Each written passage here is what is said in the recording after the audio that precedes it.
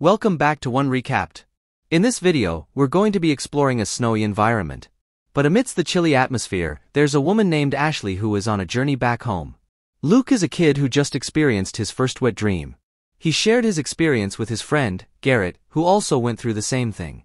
However, Luke has romantic feelings for Ashley and talks to his friend about his plans to be intimate with her tonight. Even though Garrett thinks Luke is too young for Ashley, Luke is still determined to carry out his plan. When Ashley arrives and is welcomed by Luke's parents, who quickly leave for a Christmas party, it is revealed that Ashley has been taking care of Luke since he was 8 years old. This explains why Luke's parents trust her to handle Luke, who is now a teenager. Luke's mother informs Ashley that Luke has started sleepwalking again. Therefore, Ashley needs to place a pencil on the door handle to know if Luke is in his bedroom at night. Meanwhile, Luke's parents and Garrett leave Ashley alone. Ashley talks to her boyfriend, Ricky, who keeps asking to meet up. However, Ashley declines and says they will meet another time. Luke is becoming more determined to show Ashley that he's no longer a little kid. He starts taking action by capturing a dangerous spider to demonstrate his bravery and maturity, hoping to impress Ashley. Meanwhile, Ashley discovers that the back door is open and closes it. She then goes to the kitchen to pour out the water from the bottle that Luke had just drunk from. Meanwhile, Ashley receives another phone call from Ricky and hangs up, frustrated by their argument. She then receives a phone call in the kitchen, but nobody answers. They later watch a horror movie together with Luke. Luke continues to try to get closer to Ashley, even attempting to forcefully kiss her, which angers Ashley. As a result, Ashley firmly rejects Luke's advances. She then receives a phone call from a man who claims to be watching her. Ashley goes to the back window and discovers that the back door is open. She asks Luke to hand her the phone, but accidentally, he drops it into the fish tank.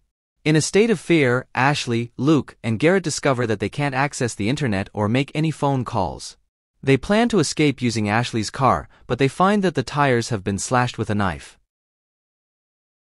As they make their way back downstairs, they come across a message written on a brick, warning them not to leave the house or they will be tortured. Despite Garrett's panic and disregard for the warning, he still runs out to the front yard, where a mysterious figure shoots him. Ashley and Luke quickly move to hide from the intruder who entered the house. They decide to hide in the attic, evading the mysterious figure who is now inside the house. Luckily, the intruder remains unaware of their presence in the attic. However, Ashley's fear of a spider almost causes her to fall from the attic. Luckily, Luke manages to save her. Afterward, they descend from the attic and Luke goes to retrieve a hidden pistol from his parents' room. He leads Ashley to another room, even though the intruder is still lurking around the house. Suddenly, the intruder steps into the room. And shortly after, Ashley realizes that the intruder's mask belongs to Luke. She insists that the intruder removes the mask, revealing that it is actually Garrett. Ashley becomes extremely angry upon learning that Luke intended to playfully scare her and stage a rescue. Frustrated by his disrupted plan, Luke impulsively slaps Ashley so hard that she falls down the stairs. As Ashley regains consciousness, she realizes that she is bound to a chair with her mouth tightly sealed. Meanwhile, Luke and Garrett casually move around the house. Luke confesses his love for Ashley, despite their five-year age difference. The two boys then force her to play a game of truth or dare. Garrett dares Luke to touch Ashley's breasts. This leads to a heated argument between Luke and Garrett, with Garrett insisting that Luke must dare Garrett to touch Ashley, a request that Luke refuses. Left alone in the room, Ashley discovers a flashlight and uses it to signal for help using Morse code towards the window. However, she is caught when Luke and Garrett return, and the flashlight is taken away. Luke then forced her to drink a beverage that would make her forget everything. But Ashley refused and dropped her bottle, causing it to break. Ashley tried to scream for help, but Luke and Garrett stopped her. Ricky, who was at the door, said that he came to see Ashley after receiving a text message from her. Luke informed Ricky that Ashley was upset with him and didn't want to see him anymore. Ricky decided to leave but asked Luke to give him the bouquet of flowers he brought. When Luke opened the door to fetch the bouquet, Ricky forcefully entered the house. In another room, Ashley threw herself to the floor and secretly grabbed a shard of glass. As Ricky headed upstairs to search for her, Luke took a baseball bat from his bedroom and struck him. Garrett then approached them with a rifle in his hand. Luke took the opportunity to knock Ricky down, and now Ricky was tied to another chair next to Ashley. It was revealed that it was Luke who sent the message to Ricky from Ashley's phone. Garrett was unaware that this was also part of Luke's plan, so he argued with Luke, who somehow calmed him down and resolved the issue with him. After that, Luke forced Ashley to call her boyfriend, Jeremy, and ask him to come over. However, Ashley didn't listen to him. Luke called him himself. Meanwhile, Ashley took advantage of this opportunity to start freeing herself from the chair using the shard of glass.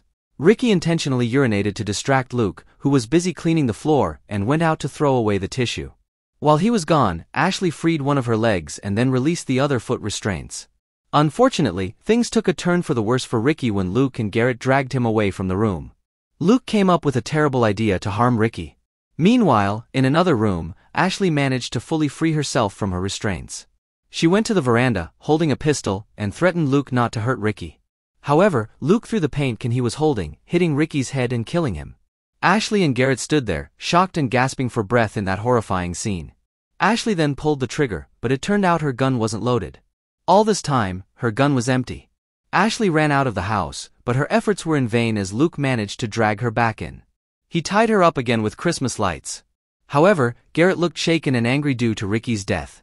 Jeremy, the ex-boyfriend, then arrived at the front door, and Luke warmly greeted him. Luke continued with his plan to kill Jeremy after learning that Ashley wanted an apology letter from him before she could meet him, without Jeremy's knowledge.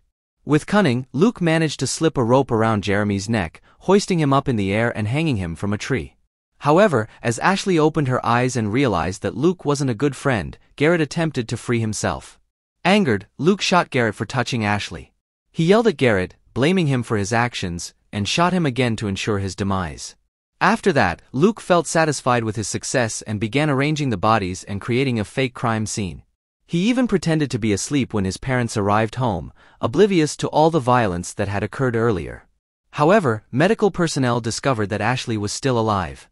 Luke became extremely worried that Ashley would expose everything to the police, so he decided to visit her at the hospital. Alright guys, that's the summary to be more aware in 2016. Thanks for watching and see you again in the next video.